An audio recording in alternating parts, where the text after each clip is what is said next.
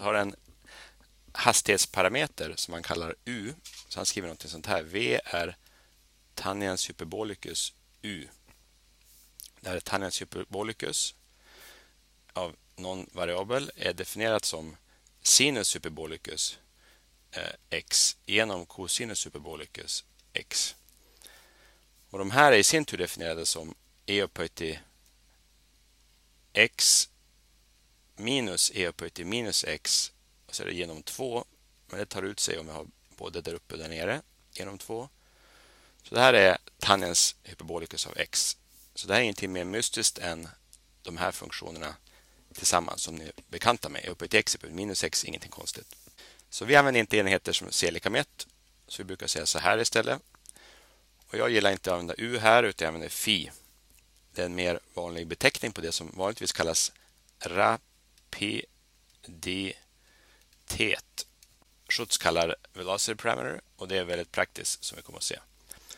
Så det var lite jobbigt med den här additionsformen för hastigheter. Att om du har en hastighet V1 och en hastighet V2 så i relativitetsteori fick man inte addera dem så där enkelt utan det kommer en sån här konstig nämnare. Och det vi ska se nu är om man jobbar med det här istället. Så det är bara en matematisk omskrivning. C är en konstant. Så det enda vi gör är att vi skriver om V som Fi. Så vad händer då? Då får vi här så får vi C. Om vi gånger upp C så får vi C tan H eh, Fi 1 plus C tan H Fi 2 genom 1 plus eh, ja, vi ser redan att det kommer att vara två så vi kan skriva ut så här, C tan H Fi 1 gånger C tan H Fi 2 genom att det är genom c kvadrat och de här c tar ut sig. Eh, så vi ser att allt det här blir något c framför och så tan h fi 1 plus tan h fi 2. Så långt är ingenting konstigt och så blir den här extra biten här nere då. Tan h fi 1 gånger tan h fi 2. Och nu är frågan, finns det någon identitet som gör att det här blir snyggare? Hade det inte funnits det så hade inte det här varit så intressant. Om du slår upp i Physics Handbook i mattetabellen så ser du att det finns en liknande identitet för tangens. Tangens så finns det en identitet där det är tangens fi 1 plus tangens fi 2. Så det är 1 minus tangens tangens. Och då får man det att det är lika med summan av vinklarna tangens. Så det är väldigt likt det här och det går heller en relation mellan dem med hjälp av komplexa tal. Men vi behöver inte göra det här utan vi, det här är egentligen enklare än den vanliga trigonometriska identiteterna för allting går att skriva som det här. Så vi gör det helt bara rakt på. Det visar sig vara praktiskt att förlänga med eftersom tangens har en cosinus hyperbolicus i nämnaren så är det praktiskt att förlänga med cosinus h av fi 1 cos h av fi 2 genom samma sak.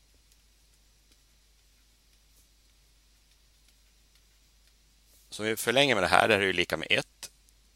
Eftersom jag tar samma där uppe och där nere. Då kan vi gångra in kosinusarna här så att den här biten um, den får en e upphöjt till fi 1 minus e upphöjt till minus fi 1. Det här är alltså det som vi har från sinus här som sitter inne i tangens. Och vi har gångrat bort kosinusen. Men vi får nu en bit från den här som är e upphöjt till eh, fi 2 plus e upphöjt till fi 2. Och sen så var det några tvåor där, men tvåorna eh, tar ut sig här eftersom vi har lika många tvåor eh, överallt. Så, att säga. så ta gärna med tvåorna här, det vill säga tvåorna menar jag att den här är definierad som det här genom två. Men de här tvåorna tenderar att ta ut sig i den här typen av räkning. Så, så får vi plus. Så hade vi den andra. Och då får vi minustecknet på det andra stället. Så här får vi ett plustecken. Medan här får vi ett, nu ett minustecken. Därför att det var en sinus där som blev kvar Alltså, I det här fallet så blir det den här som blir kvar medan den här tar ut, sinus, tar ut kosinusen. Det är den som blir kvar och får en sinus hyperbolicus. Där nere så funkar det på samma sätt. Vi har gångrat med de här. Så i det första fallet så får vi bara en det som är från kosinusarna.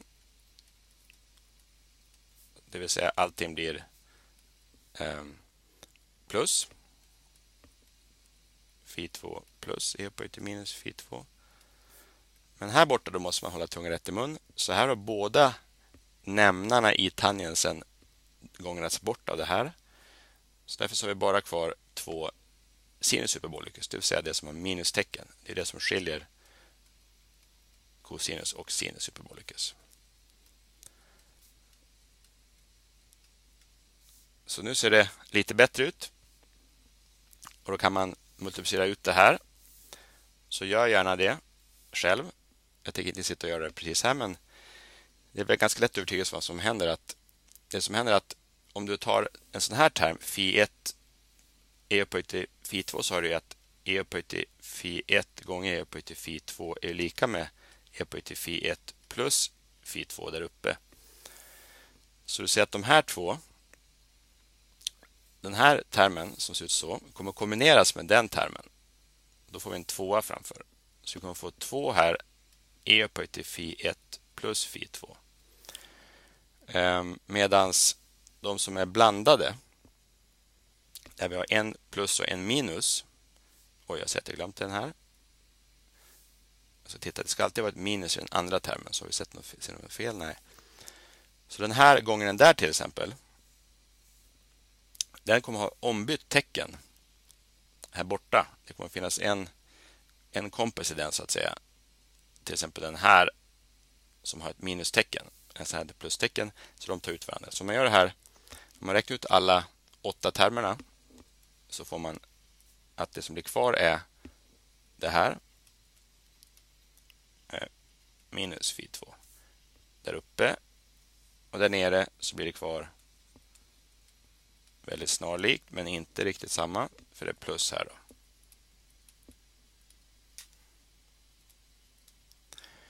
Och nu om man tänker efter lite så ser man att aha, de här tvåorna verkar ta ut sig. Och nu måste man tänka efter lite. Vad är det här?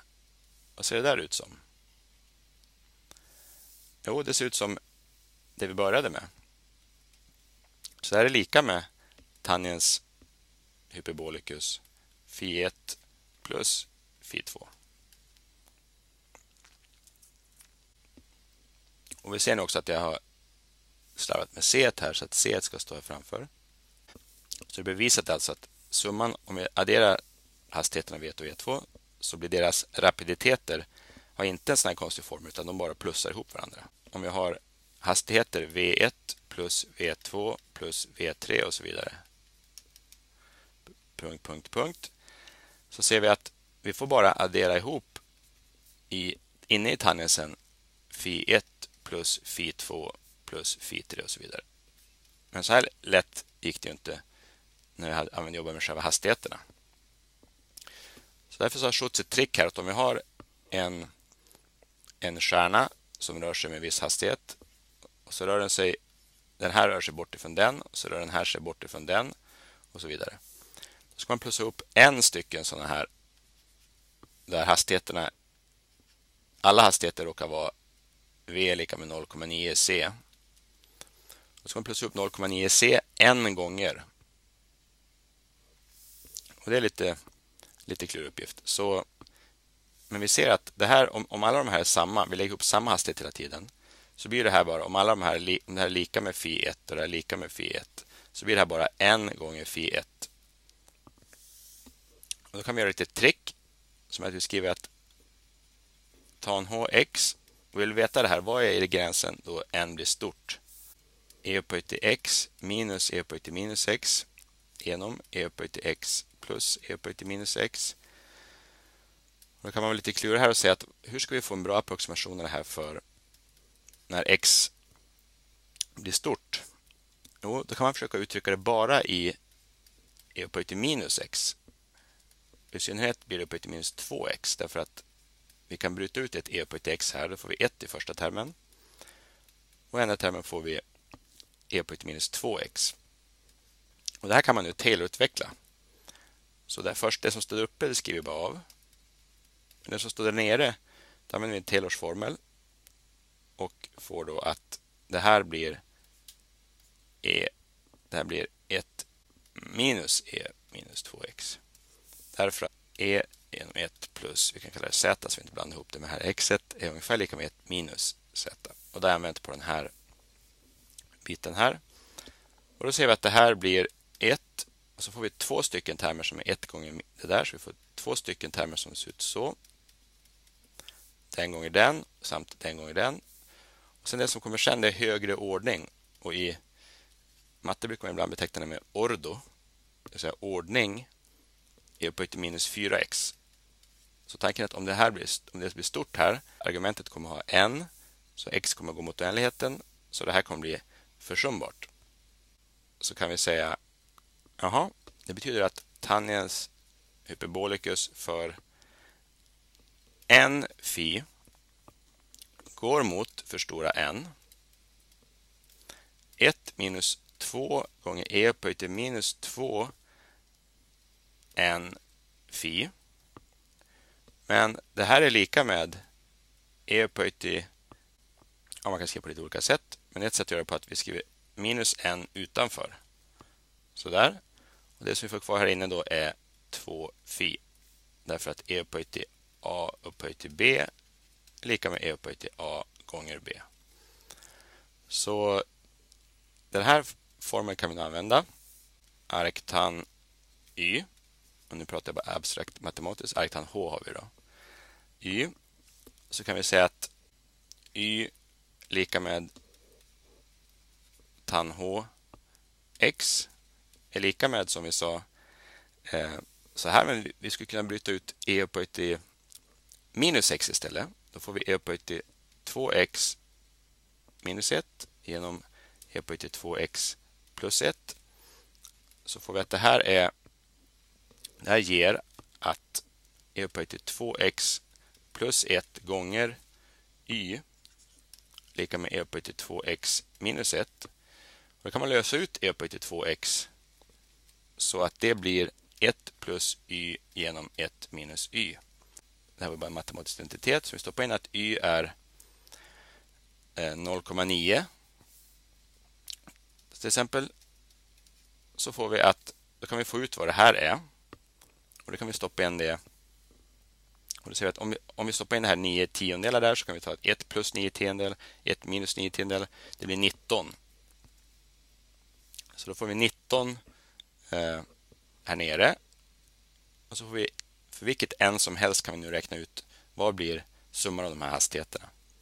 Så prova gärna att jämföra när du gjorde för hand, så att du harvade med den här ursprungliga formeln och jämför med den här smidiga formeln som vi har härlett med lite olika trick här. Att man kan ju för vilket en som helst kan man lägga ihop hastigheterna via rapiditeten.